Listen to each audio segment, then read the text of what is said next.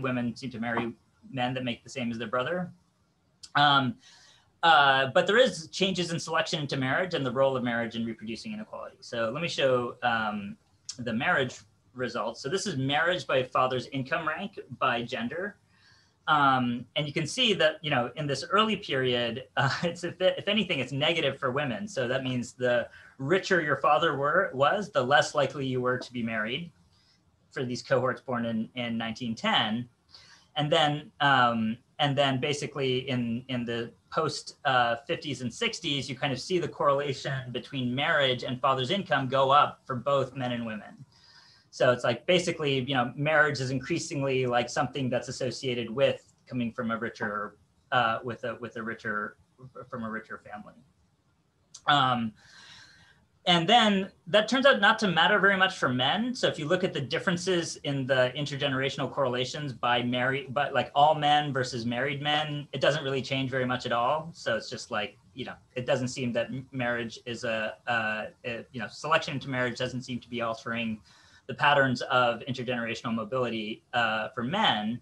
But for women, and you know, this is still noisy, and you couldn't statistically distinguish this. You you do see this like uh, divergence in intergenerational uh, uh, correlations between all women and married women, and where the, for married women, um, you know, there seems to be a lower correlation with father's income of household income with father's income tends to be uh, uh, uh, uh, somewhat less. So we think that's interesting and kind of, you know, it's there's been a lot of stuff, made, a, a lot of results um, made out of like, oh, has assortative uh, has assortative marriage increased over time?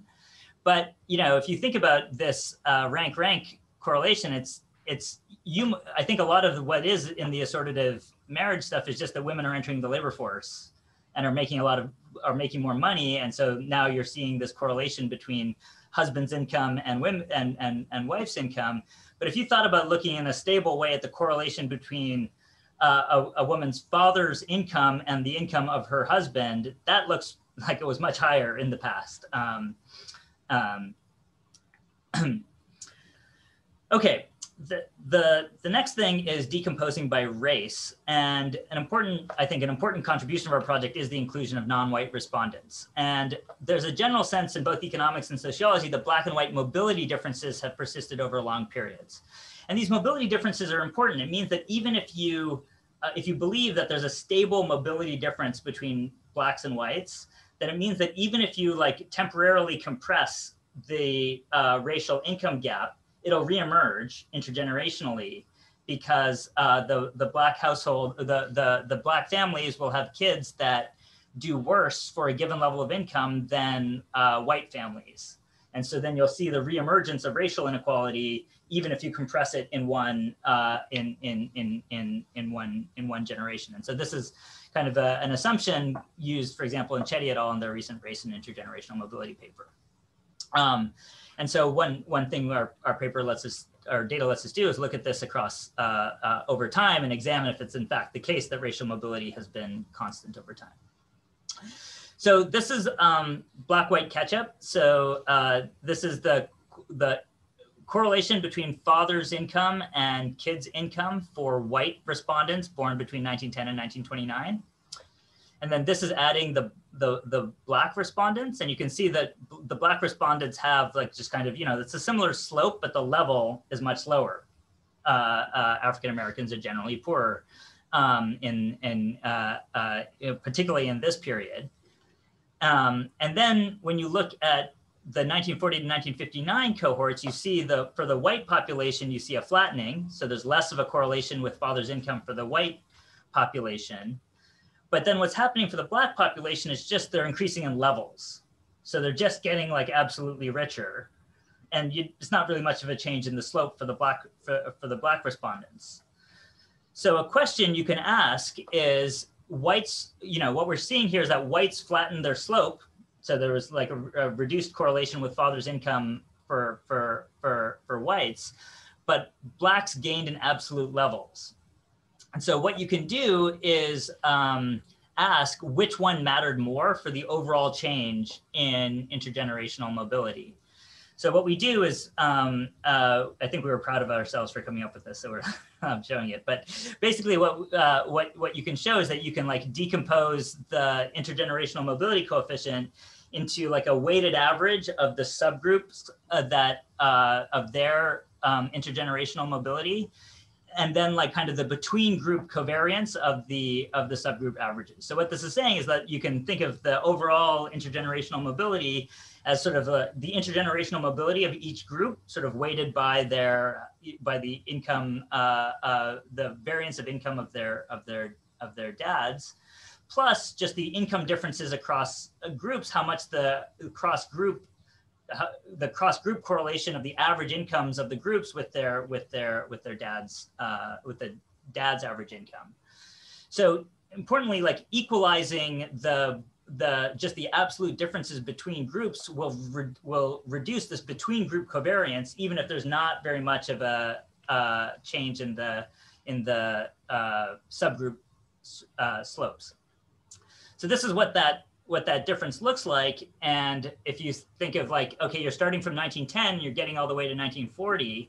You can think about, okay, what happens if if the slopes don't change at all? you just have the convergence in levels between blacks and whites. You get almost 50% of the way there. Um, you know, depending on how you do it, you can do, you, we get somewhere between between uh, you know 25 and, and 50 percent, um, and then and then when you only change the white slope, you get sort of you know um, another uh, you get the rest. It's like 50 percent plus um, of the of the um, of the uh, uh, of the gap is driven by the of by the white slope only. And then when you put them both together, you get almost all the way with this uh, with the with the with the purple bar. So we think it's like okay, you know, black, just racial inequality is contributing a lot to like the, uh, the improvement in overall equality of opportunity here. Um, okay, so for the last thing I'll talk about is uh, just the reversal of the gender cross race uh, differences in, in time. So a quote unquote well-documented fact uh, is that uh, in that it was done in a paper in 2019. Um, uh, but uh, uh, you know, black men are worse off from, than black women for the same father's income uh, um, and uh, and so that's sort of like sort of seen as it's motivated a lot of policy concern about the outcomes for for for black men in particular. So lower educational attainment, uh, higher rates of incarceration, lower life expectancy, lower employment, lower earnings. So so black men are doing worse than black women on all of these outcomes in, in contemporary data. Has this always been the case?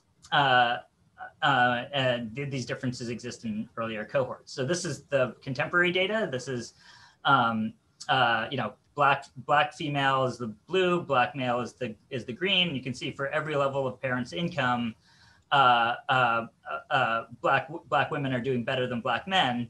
Um, you might wonder, oh, is white female actually higher than white male? But this is household income rank, so it's like pooling uh, uh, their, their the male and female incomes. Um, and so we can look at this uh, historically, and um, and so you see there's there's uh, in this you know for women you can see that you know uh, there's uh, white women are, are are richer than than than black women, but black women experience a, a big increase in their absolute level. This is their their their their rank here in this uh, in this period, while white women experience a flattening of the of the of the slope. And then we can see that for men, the convergence is much uh, uh, larger. So if you look at the the levels here, you can see this is the the intercepts for the men are around four, 30 to 40. The intercepts for the black women are like 20 to 30. So black women are just you know a lot worse off uh, uh, than black men uh, in this period. And so that suggests that there's like a, uh, there's definitely a case in which there's been this reversal and that black women were doing better than black men uh, in the current period, but black men were doing a lot better than black women in the historical period. Um, and one, one of the things we talk about in the papers the, that we find just intriguing is the role of, of widowhood in driving this. So it's like, it turns out these, these, these women are much higher widowing rates in the 1910 to 1930 period because black male life expectancy is so low So you're just seeing a lot of like missing men in the uh, in the uh, in the black population, and so that shows up as like a very high widowhood rate for for for for black women, and that keeps their household incomes low. And so some of this convergence is just coming from the appearance of of of black men in the surviving to the point that they're, that that they're uh, uh, in, increasing the income of they're contributing to household income. Okay, I'll conclude with that. Um, so the takeaways from this. Um, social mobility is not necessarily fixed. The United States has indeed successfully increased full cohort mobility between 1910 and 1940. Um, uh, the and it looks like like racial convergence and absolute income seems to be a key contributor to increased in, intergenerational mobility in uh, in in U.S. in in U.S. history. Um, marriage and selection into marriage and selection into child raising, which I which I hadn't talked about so much uh, uh, today, is stable but not obviously uh, um, uh, increasing contributor to intergenerational persistence. And so just to, to tie it back, I think it's like where you know, I wanted to present this paper because it was like, okay, here's how these contributions of identity-based inequality kind of have a very natural connection to like socialist ideas of equality of opportunity. And so you might want to have to think about equalizing in an absolute level these differences, uh, particularly by race, if you want to sort of make progress towards realizing uh, equality of opportunity, which is traditionally defined in a in a group neutral way. And I'm done. Thank you, Suresh. So now we're going to take questions.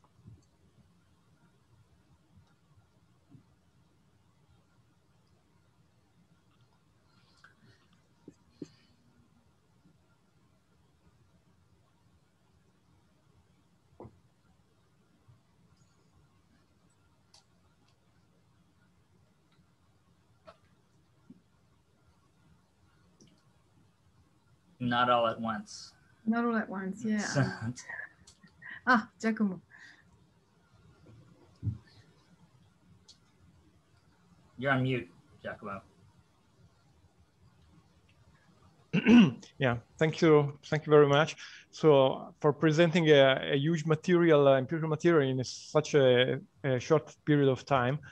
So I, I have a couple of uh, questions about uh, um, the data. So in order to uh, understand better what uh, you presented to us. So three points. The first one is about the income concept. So uh, what about, is this a, a pre-tax or a post-transferent tax? Uh, are um, uh, employer benefits, health uh, pension benefits included or excluded? And household income is, is uh, not equivalence uh, income or is, so this is the first question. And the second one is that I guess that you have a measure of a transitory income. I don't know whether a monthly or weekly or yearly income.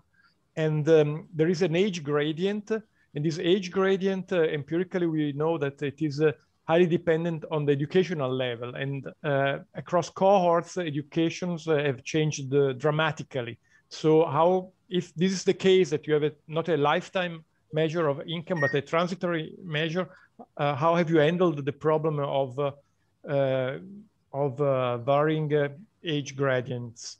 And the third one is that, uh, um, if I understood correctly, you always take father's uh, income as the starting point in order to measure the intergenerational uh, mobility.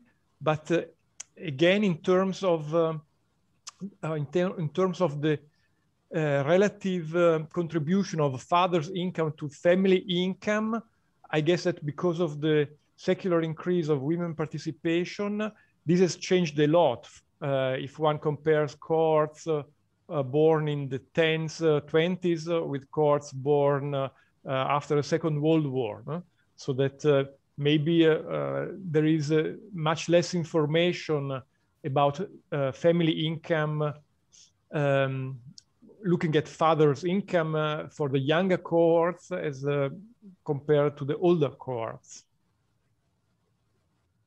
Um, got it. So let me let me take the the, the question. So uh, this is all pre-tax income. So it's uh, it's like the household income pre-tax, not equivalized. Um, we're working on trying to get the number of kids in a in a in a household that you'd need to to equivalize it. Um, so I think we get over the transitory stuff because we we only look at respondents between the ages of 30 and 50.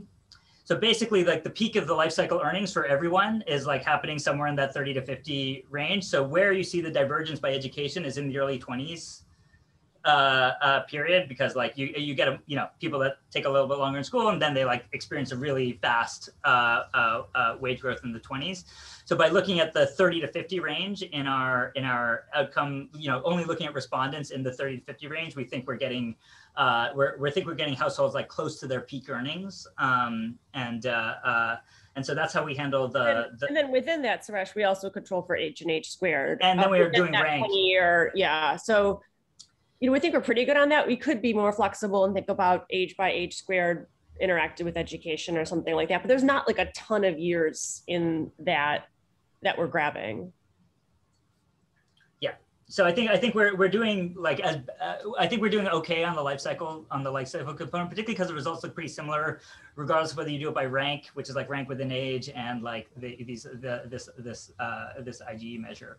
On the uh, on the second set of questions. So I, I agree that like with, if you sort of thought that um, marriage was random, so for then then uh, like in the sense of like or was scrambling the information in father's income so that then that would mean that basically as you start marrying into uh, as women start entering the workforce then you start seeing you know father's income becomes less predictive of of of of, of kids income um, but I think if anything, like when you look at this IGE measure, you kind of see it, it's coming back up. So father's income is becoming more predictive of, uh, of, of household income, eh, you know, in the, in the, in the log income sense as you, uh, uh, in, in, in, in recent cohorts. Also, So- Doc, more directly answering your question, what we've done in a, we didn't show it here, but what we've done in a recent robustness check we should say like we take the family income in the census so we are including everybody's income. We're just predicting it with dad's with, with dad's occupation and race and region. Um, but we've taken you know so we can take the 19 you know 40 um, census for the earlier kids and then the 1950 census for the later kids, the 1960 census for the later kids. So that 1960 census should be reflecting the family incomes of families where moms are working. So we are sort of picking that up. We, we didn't show that today, so it's a totally fair question. But that's Suresh, that's another nice Yep. um, reason for doing that robustness check. We hadn't thought of that as a as a reason to do it. Very good. Thomas, Bjørn Isla fra Nordea Feirdal. Karl, do you want to ask a question? It's me. Um, so I have a question. Uh, there was somebody talking to me here, so I couldn't really hear the, the last response. So maybe you have already uh, responded to this, but do you, do you account for inequality changes over time? And of course, then uh, to the social mobility, when inequality goes up, that's uh, different from uh, social mobility if inequality goes down. Do you account for these things over time? Yeah, so this Uh, is why we show these two measures, the rank rank and the Okay. and the intergenerational elasticity. And so the in some sense it's like, you know, the pure movement among rungs in the ladder versus how far away the rungs in the ladder are. And so the intergenerational elasticity is picking up how far away the rungs in the ladder are. The rank rank is picking up like where do you sit in the in the in, in the ladder. And so and, and so it's in, it's interesting that those two have started to diverge in the in the recent cohorts. Um, Can I ask a question? Um, could you could you could you Suresh and Ilyana spell out the policy implications of your findings, in particular in terms of what, how it relates to other proposals that have been made so far by Thomas and others? What, Yeah, so I think we're we're still. I mean, I'm sure we're still like we're. Uh, I was thinking about adding something about that, but then I was like, ah, we don't really know at this point. So I think you know uh, our candidates are kind of things like the expansion of education. It's like no surprises, right? It's like the expansion of education. Civil rights movement. So- Sorry, what? The labor movement. civil rights movement. I mean, one of the things that we've been looking at is trying to understand like why, you know, did that black mobility um, graph just, you know, go up in levels? And, you know, it's it was like, oh, it's people moving to the north. And actually it's just in a decomposition sense, like we don't know what's causal, but no, it's actually the people in the south doing better, uh, which is you know, consistent with the time, the timing is consistent with the civil rights movement. Um, yeah, and I think Suresh, like one thing that, you know, we need to focus on next is like, why did the white why did the white line start flattening? Because that's also a very important point. And we suspect, just based on the timing, that it could be the high school movement, the mass uh, expansion, you know, where high school became a regular thing in the US. But we can do a bit more to reject, um, to see if we can reject that hypothesis. But that would be our best guess at the moment. Yeah, it's an it's an interesting thing that I didn't show it, but one of the things that we have is that while the correlation between father's income and high school like declines kind of continuously, yeah. the correlation between father's income and college has actually been increasing.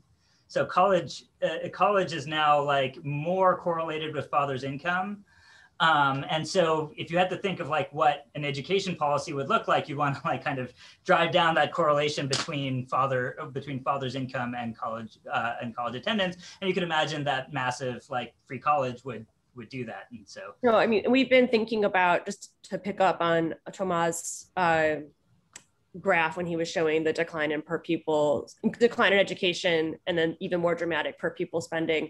I mean the U.S. is such a great example of that. Um, you know, from the 1980s onward, just like the share of the tuition that the kid is expected or their family is expected to play is pay has just gone up tremendously. So does that does that um, does that help you take a position on the student debt cancellation debate, like especially as it affects differentially blacks and whites?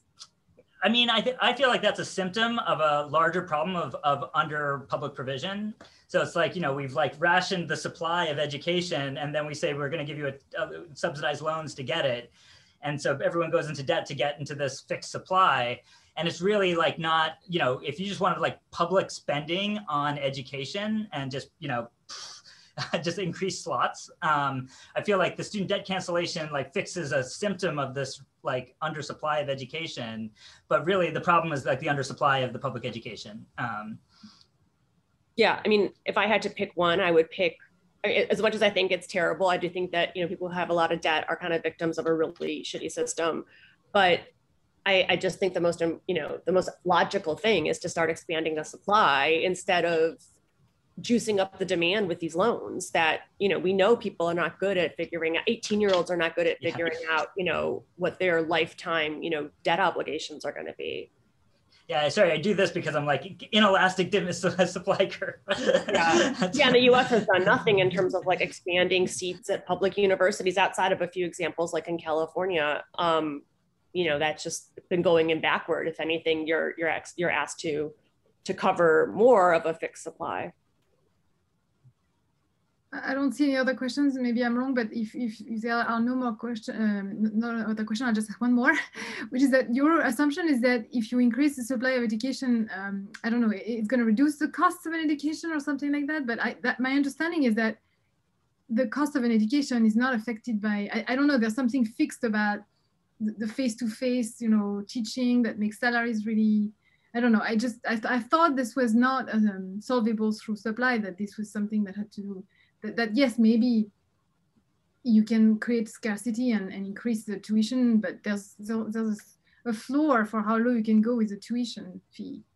No, is that wrong? I mean, I think we can we can we can make it zero if we wanted to and just subsidize it. Um, Oh yes, through state so, subsidies. Oh yeah, yeah. Sorry, state okay. subsidies. Right. Yes. Of course, there'd be state subsidies. Yeah, yeah, yeah. This is not like a free market or. Um, okay, that's right. The U.S. hasn't yeah. even seen a totally pernicious effect of this. Is that the U.S. hasn't? We've just sort of made a decision. We're not going to be expanding seats at public universities, or we do so very slowly. And so what's happened? As you've juiced demand through these um, student loans, is that these very pernicious um, predatory private for-profit schools have filled the need. Um, and I'm sure there are some exceptions that are useful, but in general, the studies have shown that they're really bad. They they suck in all this aid, and then they have very low graduation rates. And so, um, it's just a straight. I mean, the U.S. has the same. The U.S. in some ways has the same view on healthcare: reduced demand with you know t- with premium subsidies, and then we do nothing in terms of you know, having public hospitals, you know, all of that's done to the private sector. So it's kind of like, what do you expect?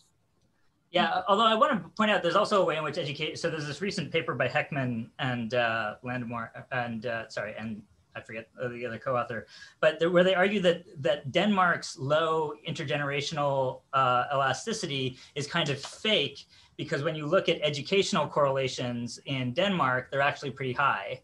And so, you know, highly educated uh, uh, parents have kids with more with with more education, and then they argue that, and, and which is sort of uh, weird. But then when you look at income gaps, they're like much less they're much less correlated than the U.S. And you might think that you know I wouldn't be surprised if that remains true in in this period in the U.S. That like you might keep educational correlations, uh, you know, might not fall nearly as much as income correlations because there's a raw compression thing that happens that basically means that you can by, by reducing the differences in income among kids, you just kind of are able to increase income mobility, even if you're not necessarily changing the underlying like educational mobility as, as much. Um, um, there's a comment in uh, by one of the audience uh, members, I think. So uh, I, what, I think I can unmute this person and maybe she can just uh, but I don't know where to find her, so that's a problem. Arlene. Okay, I'm very sorry. I don't know. Nope, nope, she's here. I just I just granted uh granted the ability to talk. Oh great, thank you. So if um this person wants to speak up and I get are you asking for me? Yes, that's yeah. me. well, hello, great presentation. This whole program has been really super. But I think that the correlation that you draw between an improved uh, improvement in economic circumstances and the willing to engage in political protest, particularly as Americans, African Americans, is very. I've always felt ever since uh, reading Brinton's Anatomy of Revolution that there is a definite correlation between economics and politics and revolutionary activity. People who are starving to death can't afford to revolt. They have to have something in their bellies in order to have the courage to stand up and say no. And by the 1960s, uh, African Americans, after two world wars and uh, the effect of the Great Migration, which Isabel Wilkerson talks about in her book, um, had begun to have an impact. And at that point, they started to get politically involved. There's a great vignette in uh, Ms. Wilkerson's book about a woman who moved to Chicago uh, from uh, Mississippi, um, started to do a little bit better, bought a house with her family, and then for the first time in her life, voted. she was amazed that she could actually vote in Illinois. That's what happened. Thank you. Uh, there's also a question. You feel free to answer the question and reply to the comment by Zach Davidson. And then that's the last question we're going to take, I think. Uh, Zach, do you want to ask your question? If not, I'll just read it. Um, how far does how far back does administrative data go? For example, analysis by Chetty, etc. Are there opportunities, sources to take this conversation and research back into the 19th century? Yeah, so you want to go? Oh, sure. Yeah. So for the actual IRS data, there's no way of doing any kind of analysis over time on intergenerational relative mobility, which is the concept we're talking about, you can basically look at 1980. Um, if you just think about it, in 1980, those people are 40 now. And so if you're trying to always get around age 40, um, you can't go anything beyond um, 1980. And uh, anything before 1980, you don't have data on their parents because uh, the administrative data began in the 1990s. So there's no way of using those like really great you know tons and tons of data and precision uh, data source to go back in in time. There's a lot of historical work that just looks at occupation. Uh, a good reference there would be Joe Ferrie, um, and they're almost always looking at white men because if you want to go further, you know, further back, how do you think about slavery as an occupation? And those kind of decisions are so so difficult. So that literature pretty much just looks at white men. There are a few exceptions um, that I'd be happy to you know talk about offline, but uh, uh, yeah, so they're basically using occupational status as it um, translates from father to from white father to white son. Okay, well, we are now out of time, I believe, officially. So, John, uh, do you want to conclude the, the day or should we just say goodbye and see you tomorrow? Um, well, people can stick around on the, on, uh, I think Isabel and I are going to talk about something, but otherwise, I don't have any instructions. just to meet tomorrow at uh, at 10 o'clock and in the morning session. Well, I don't, it's, I'm not sure who's going to be chairing it. We'll, we'll see then. Great. See you tomorrow. Thanks, everyone. Thanks. Thank you for the comments. Bye. Bye.